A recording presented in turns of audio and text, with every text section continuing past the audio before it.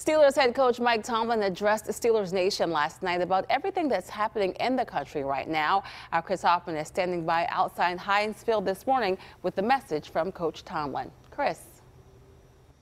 Good morning, Lisa. Before the Steelers hit the field for practice on Friday, Coach Tomlin, as well as the members of the Steelers, prayed for betterment as one united team. Now, this comes as other sports, as you have mentioned, have either canceled or postponed games and practices around the worldwide of sports. Now, Mike Tomlin gave a speech with general manager Kevin Colbert and team owner Art Rooney II at his side. The players and coaches had their arms locked and formed one line behind the head coach. Tomlin talked about the diversity of the team and its reaction to the pandemic and recent events, including the shooting of Jacob Blake in Kenosha, Wisconsin. He says the team is committed to being part of the solution in facing social injustices and wants to help form a more perfect union. That love and those talents have taught us great tolerance and understanding.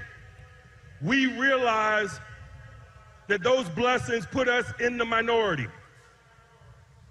We've learned a lot of lessons in 2020, be it from the pandemic or the social unrest. The big perspective that has provided us is regardless of how big and important this game is for us, is small in the big scheme of things.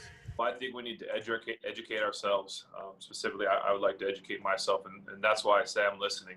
And I think listening is such an important thing to do um, because obviously I, I, look different than a lot of my teammates and a lot of my friends. And so, um, how can I better educate myself and listen and learn? Um, because we all need to do and be better. You could hear quarterback Ben Roethlisberger there saying what he needs to do to better himself and some advice to others. The Steelers' first regular season game is up in the air right now.